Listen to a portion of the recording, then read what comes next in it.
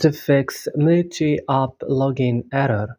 What's up guys? If you have login error on your Meitu-app i will show you how to fix it today. Let's do it. Open guys your settings of your phone. Click on apps option and search for Meitu-app and click. As you can see we find this list. Go directly click on storage option. Click clear cache right now after that here back click add force stop and click ok. Come guys to play store or app store update Meitu app and restart your device right now and that's it. So don't forget to like and subscribe